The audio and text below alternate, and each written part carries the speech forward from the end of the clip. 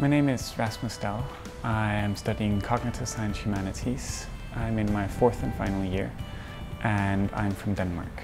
I decided to study uh, Cognitive Science Humanities because it's its interdisciplinary approach to academic work.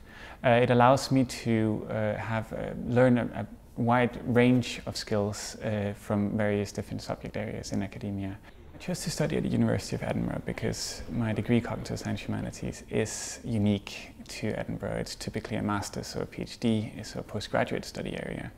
Um, and I found it interesting. The benefits of studying for a four-year degree, um, if you, as me, are an international student and you go back to your home country, is a different system. Um, but with a four-year degree, you often lie in a sort of a grey area in between, which obviously can be an advantage if you, uh, if you are able to talk to the institution you're applying to. Living and studying in the city of Edinburgh is great because partly because it's a historic city. Uh, I, I, love history and being able to go down any corner in the city and there's a story there is just great.